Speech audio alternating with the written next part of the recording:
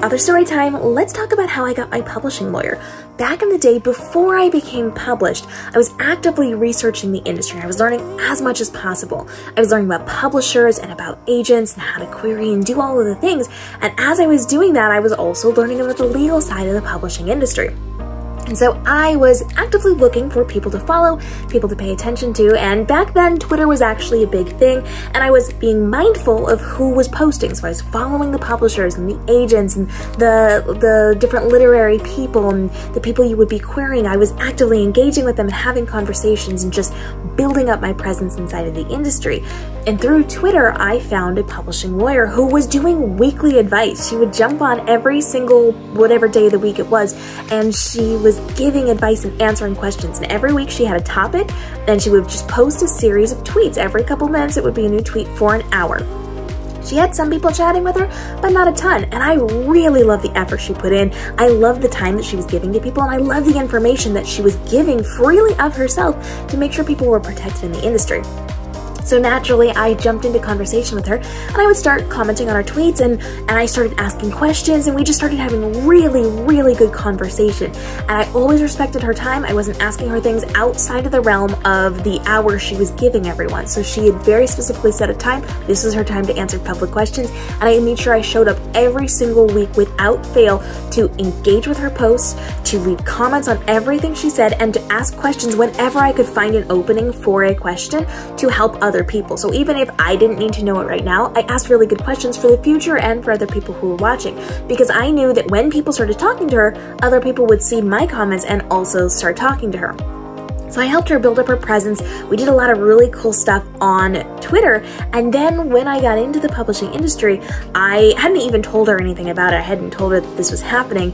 And so I had been querying and I had had some contracts offered to me and I had read through them and I just wanted another set of eyes. So I asked her um, what we would what would we like to work with her and she was so very kind to me she took me on a sliding scale so it was one of those like depending on how much your advance would be that would be how she would be paid. It wasn't like a big upfront fee.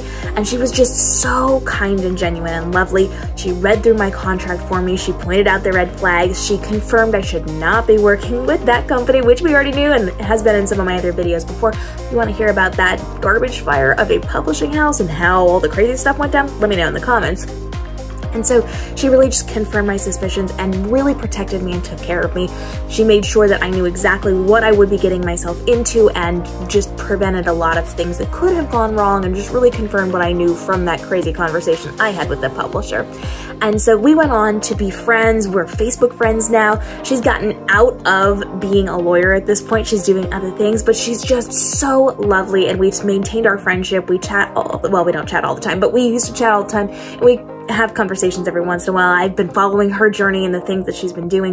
But I got my publishing lawyer because I showed up, because I was active and engaged. I was the person that was there having those conversations and supporting her in every way that I could until the point where we could actually collaborate on something and then she did come and she helped me out and she made sure I was completely taken care of and protected which she does for all of her clients but like she was very very good about taking care of me. So if you're trying to get into a publishing house or with an agent or with a lawyer or whatever it happens to be, make friends on social. Be there and support them without needing them. Go into it with the mindset of being there to support the community and grow that person's platform and build them up and become real life friends with them. And then then when you eventually need them, you're going to have that friendship there, you're going to have that connection there, and you'll be able to work together in a professional capacity. But don't go into it with the mindset of, oh, I'm going to go support this person, talk to them so that they'll do like free work for me or something. That's not what we want here. We want genuine connections and genuine relationships that can then develop into professional relationships as well. And that's how I got my publishing lawyer. And when she retired, she did give me information on other people I could be working with so that I was always protected inside of the industry. I love that I have met so many people from my team on social media and having those engaged conversations for prolonged periods of time with the intent of just building each other up and being there to support each other has been a total game changer for me. If you've got questions on publishing lawyers, how to find a good one, what it's like working with them, or other industry professionals, let me know in the comments below and I'll see you in the next episode.